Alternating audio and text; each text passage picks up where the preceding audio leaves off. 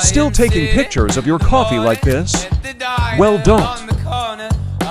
Instead, try dark backgrounds. I'm using a baking sheet.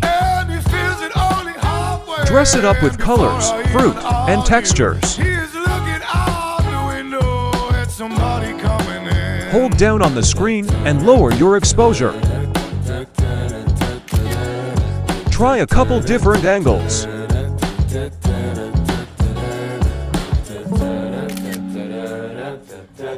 You went from this to this.